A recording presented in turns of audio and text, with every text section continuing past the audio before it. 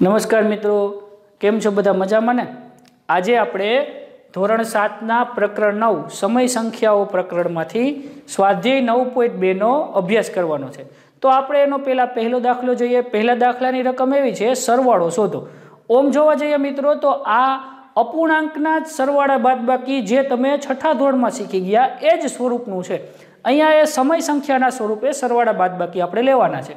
તો અહીંયા પહેલું આપણે ઉદાહરણ જોઈએ. તો પહેલામાં એવું છે, પાંચના છેદમાં ચાર વત્તા ઋણ અગિયારના છેદમાં ચાર. જો અહીંયા આવી રીતે આખો કાઉન્સ કરેલો છે, પણ આને આ જ રીતે સમજી શકાય, પાંચના છેદમાં ચાર વત્તા ઋણ અગિયારના છેદમાં ચાર. આ બે વસ્તુ એક જ બતાવે છે.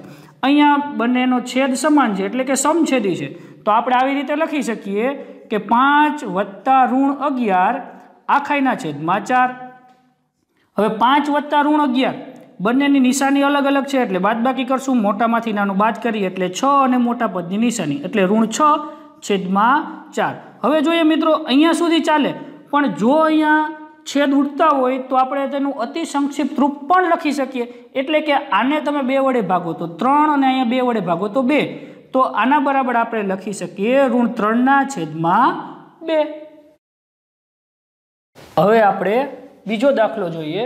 તો એની રકમ આવી છે પાંચના છેદમાં ત્રણ વત્તા ત્રણના છેદમાં પાંચ. તો અહીંયા જોઈએ મિત્રો, અહીંયા છેદમાં ત્રણ છે, અહીંયા પાંચ છે, એટલે કે વિષમ છેદી છે. તો અહીંયા આ બંનેનો લસા લેવો પડે. આપણે છઠ્ઠા ધોરણમાં એવું શીખી ગયા કે બે અવિભાજ્ય સંખ્યાઓનો લસા તેના ગુણાકાર જેટલો હોય. અહીંયા ત્રણ પણ અવિભાજ્ય છે, પાંચ પણ અવિભાજ્ય છે. તો તેનો લસા બંનેના ગુણાકાર જેટલો થશે. એટલે કે ત્રણને આપણે પાંચ વડે ગુણીએ, છેદમાં પાંચ વડે ગુણીએ, તો અંશમાં પણ પાંચ વડે ગુણવાના પડે. તેવી જ રીતે ત્રણના છેદમાં પાંચ, તો અહીંયા ત્રણ વડે અંશમાં પણ ત્રણ વડે ગુણીએ. તો અહીંયા પાંચ ગુણ્યા પાંચ એટલે થશે પચીસ અને ત્રણ ગુણ્યા પાંચ એટલે થશે પંદર વત્તા ત્રણ તેરી નવ છેદમાં પંદર. તો અહીંયા પચીસ વત્તા નવ એટલે થશે ચોત્રીસના છેદમાં પંદર. તેવી જ રીતે આપણે એના પછીનો દાખલો જોઈએ. તો અહીંયા દસ છે, અહીંયા પંદર છે. તો દસ અને પંદર એનો લસા મિત્રો થશે ત્રીસ. તો એના માટે આપણે ઋણ નવ છેદમાં દસ, એને ત્રણ વડે ગુણીએ તો ત્રીસ થાય. તો અંશને પણ ત્રણ વડે ગુણવાના વત્તા બાવીસના છેદમાં પંદર છે. અહીંયા પંદરને બે વડે ગુણીએ તો ત્રીસ થાય, તો અંશને પણ બે વડે ગુણીએ. નવ તેરી સત્યાવીસ એટલે કે ઋણ સત્યાવીસ, છેદમાં ત્રીસ, વત્તા. બાવીસ ગુણ્યા બાવીસ બે એટલે થશે ચુમ્માલીસ, છેદમાં ત્રીસ. તો હવે ઋણ સત્યાવીસ વત્તા ચુમ્માલીસ આખાઈના છેદમાં ત્રીસ. હવે સત્યાવીસમાંથી ચુમ્માલીસ, અહીંયા સત્યાવીસ ઋણ છે, ચુમ્માલીસ ધન છે. તો સત્યાવીસમાંથી આપણે ચુમ્માલીસ બાદ કરીએ. તો મિત્રો, અહીંયા આપણે જોઈએ કે પેલા જો અહીંયા અહીંયા આપણે ચાર છે, એમાંથી સાત જાય નહીં. એટલે દસકો લઈ એટલે અહીંયા થશે ચૌદ. ચૌદમાંથી સાત જાય તો વધશે સાત, અને અહીંયા ત્રણ આવશે. અને ત્રણમાંથી બે જાય તો વધશે એક. અને આ ઋણ નિશાની એટલે સત્તરના છેદમાં ત્રીસ. એટલે ઋણ હતા, અહીંયા સત્યાવીસ ઋણ છે, ચુમ્માલીસ ધન છે, તો મોટા પદની નિશાની આવશે એક. એટલે આ દાખલાનો જવાબ થશે સત્તરના છેદમાં ત્રીસ. હવે આપણે એના પછીનો ચોથો દાખલો જોઈએ. તો ચોથા દાખલાની રકમ છે ઋણ ત્રણના છેદમાં ઋણ અગિયાર વત્તા પાંચના છેદમાં નવ. મિત્રો આગળના ચેપ્ટરમાં તમે જોયું છે કે આ બંને ઋણ હોય તો એ ઓછે ઓછે વધતા થઈ જાય. આ એક ધન સમય સંખ્યા જ દર્શાવે છે. એટલે કે ઋણ ત્રણના છેદમાં અગિયાર, એના બરાબર આપણે અહીંયા બંને જગ્યાએ ઋણ હોય તો એ ધન દર્શાવી શકીએ. એટલે કે ત્રણના છેદમાં અગિયાર વત્તા પાંચના છેદમાં નવ, આના બરાબર જ થશે. હવે અહીંયા જોઈએ છેદમાં અગિયાર છે ને છેદમાં નવ છે. એટલે વિષમ છેદી છે. સરવાળો કરવા માટે લસા લેવો પડે. અહીંયા અગિયાર અને નવ બંને નો લસા એ બંનેના ગુણાકાર જેટલો થશે, કારણ કે અગિયાર અવિભાજ્ય સંખ્યા છે. માટે ત્રણના છેદમાં અગિયાર ગુણ્યા નવ, તો અંશ અને છેદને બંને નવ વડે ગુણીએ.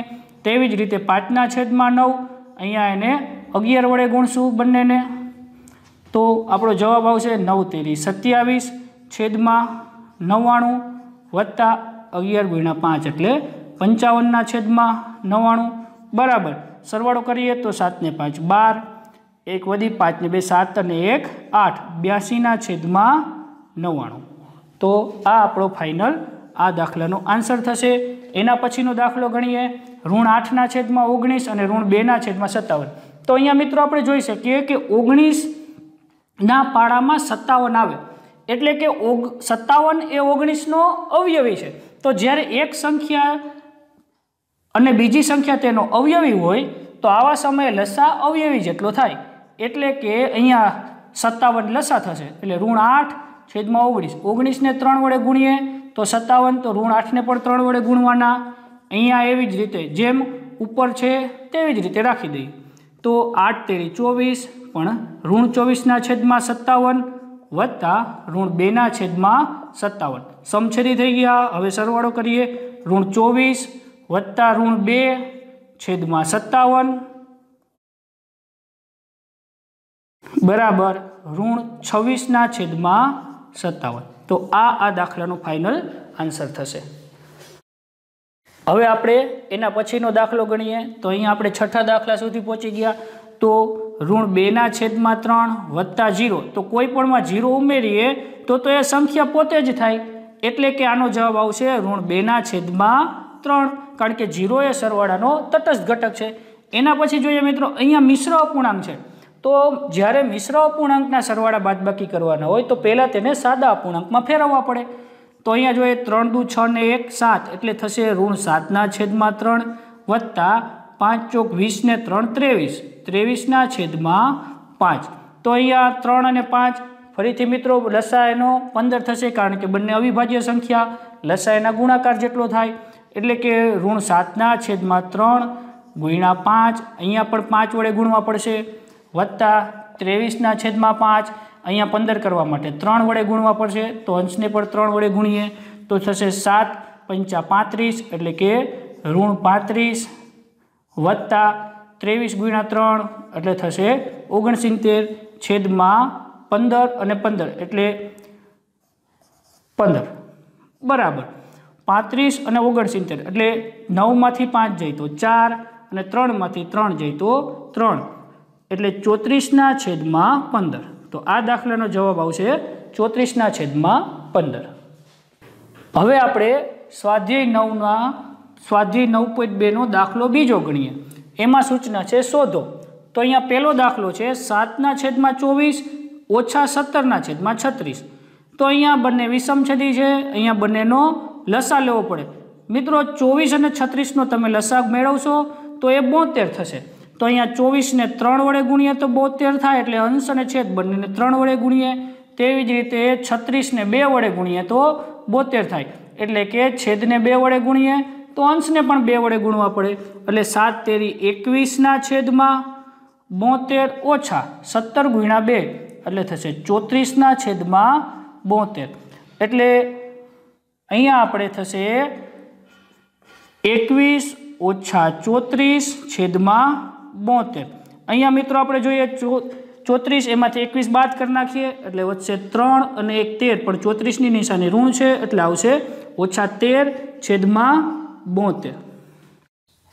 હવે આપણે બીજો દાખલો ગણીએ.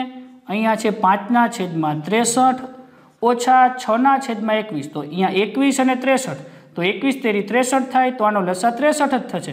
એટલે કે અહીંયા ઋણ છ, છેદમાં એકવીસ અને ત્રણ વડે ગુણીએ તો ત્રેસઠ, અને ત્રણ વડે ગુણીએ તો ત્રેસઠ થાય.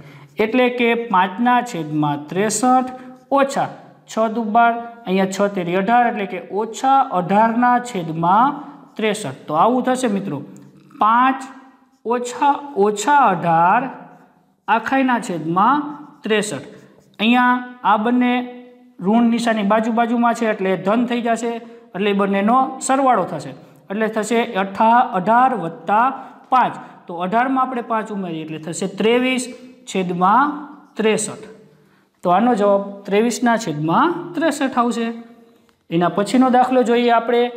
તો અહીંયા છે રકમમાં ઋણ છના છેદમાં તેર અને ઓછા ઓછા સાતના છેદમાં પાંચ. બંને અવિભાજ્ય સંખ્યા છે, તો એનો લસા બંનેના ગુણાકાર જેટલો થશે.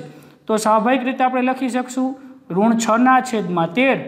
અહીંયા બંનેને ગુણવા પડશે, એટલે કે આને પાંચ વડે ગુણો. ઉપર પણ પાંચ વડે ગુણીએ. ઓછા ઓછા સાતના છેદમાં પાંચ. તો અહીંયા પાંચને આપણે તેર વડે ગુણવા પડશે. તો ઋણ સાતને પણ આપણે તેર વડે ગુણીએ. તો જવાબ આવશે છ પંચા અહીંયા ત્રીસ, એટલે કે ઋણ ત્રીસના છેદમાં પાસઠ.